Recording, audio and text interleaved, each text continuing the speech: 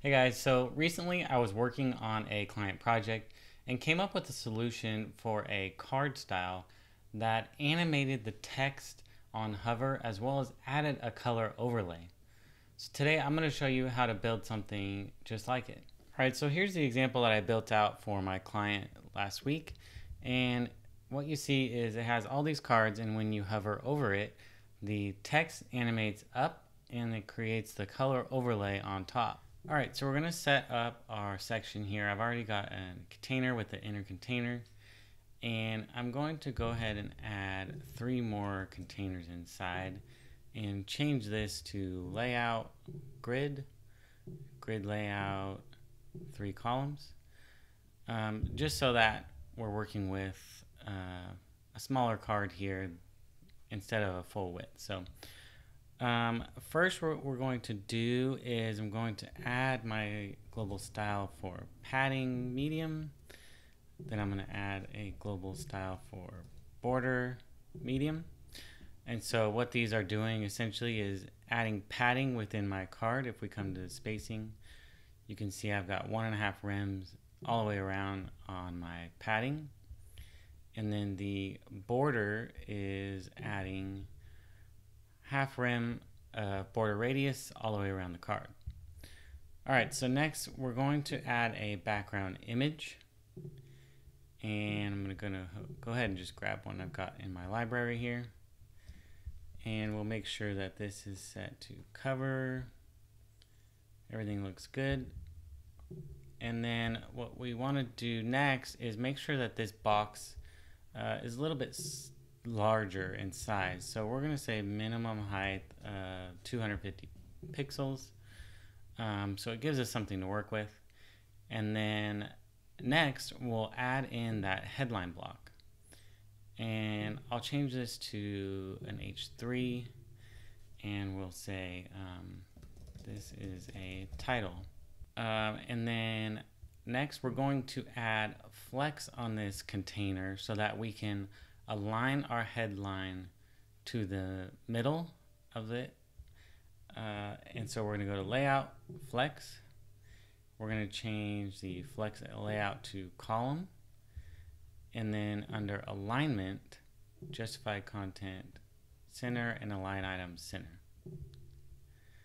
Now I am going to jump into the headline again and zero out the bottom margin on that just so that it's accurately in the center of our card here. And now what we want to think about is when we hover on this card, what color do we want the overlay to be? So then we can decide what color we want this headline to be.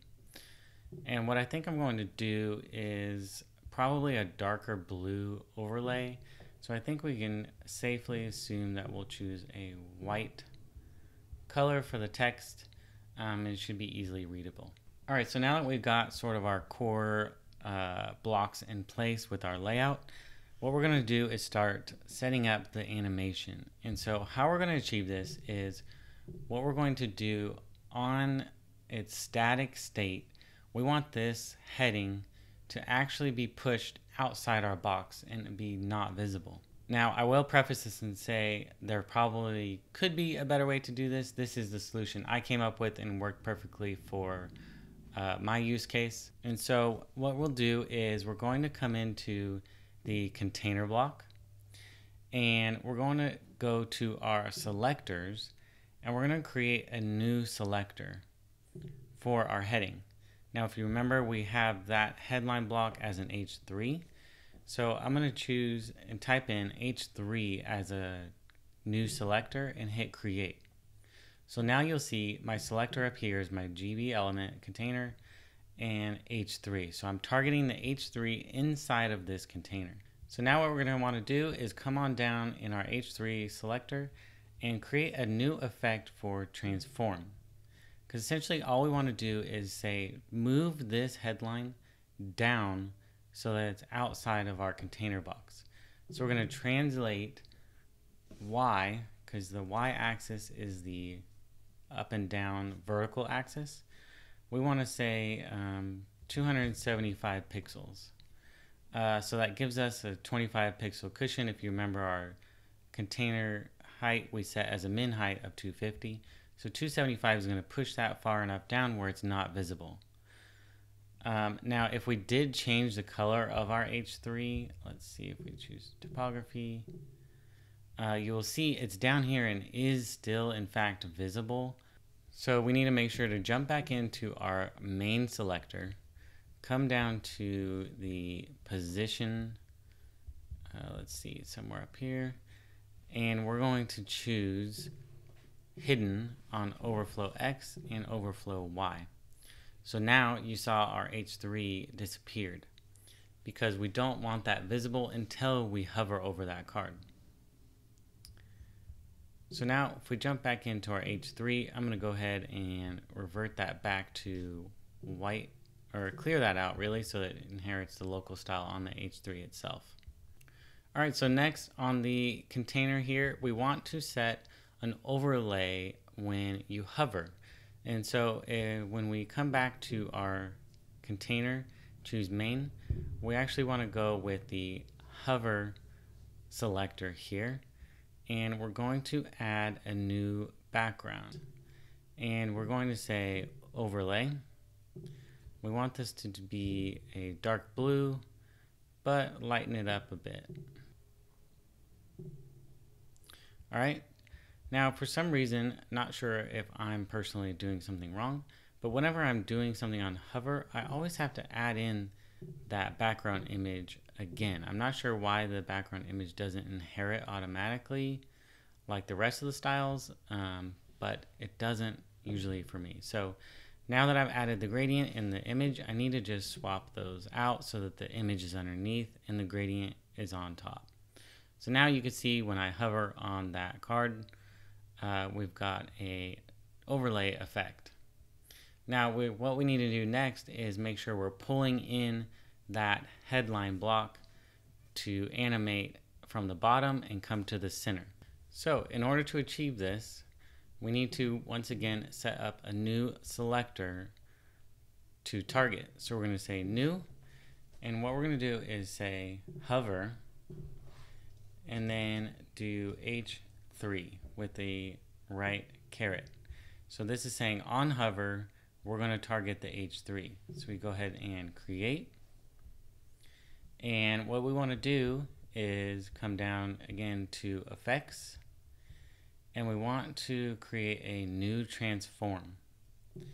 Now this transform is going to be 0, 0, 0 across the board because essentially we want that to come back to its original position.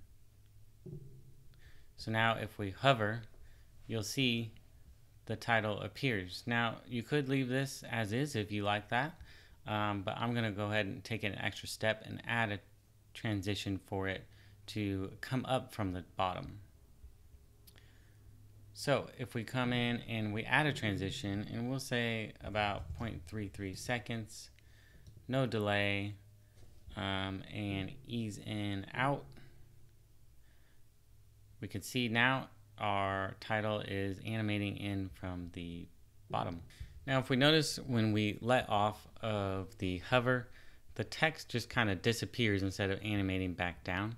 So what we can do is come back into our selectors and go to our H3 and we can go add a transition just like we did on the hover H3 and let's add 0.33 seconds again, ease in out, and hover again. And now you can see that text hovers in, uh, slides up, and then you can see it slide down. Uh, we can even take this a little bit further, and when you come to uh, the transform, and again, we're still on our H3 selector, and we choose opacity of 0%. So when it's outside the box, it's invisible.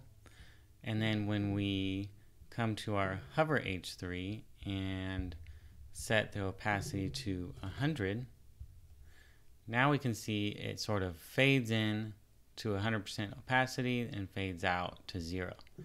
So we can go ahead and hit save and we'll view this on the front end just so we can see. Again, hover and the animation.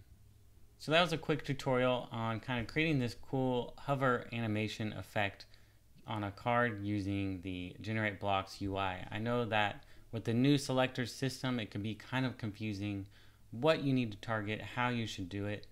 Um, and this is just one approach that I wanted to share with you that I achieved recently on a client project. Thanks a lot for watching and be sure to subscribe to my channel for future videos.